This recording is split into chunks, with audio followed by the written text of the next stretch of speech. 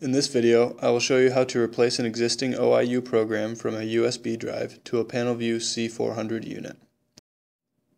Before beginning, insert the USB to the rear side of the PanelView OIU. Get to the configuration screen by touching the hidden button on the top right corner of the application. Select File Manager from the configuration menu. First you want to delete the old application. Make sure the source and to fields both say internal. Use the arrow keys to highlight the name of the application you want to delete. Press delete. A confirmation message will appear. When you say yes, another confirmation will pop up. Hit yes again. The OIU will say operation successful when the deletion is complete. Hit OK to dismiss. Change the source to USB with the arrows.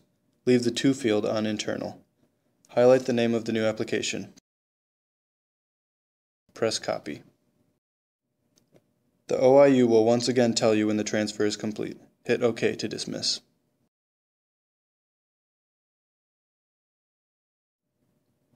Change the source field back to internal.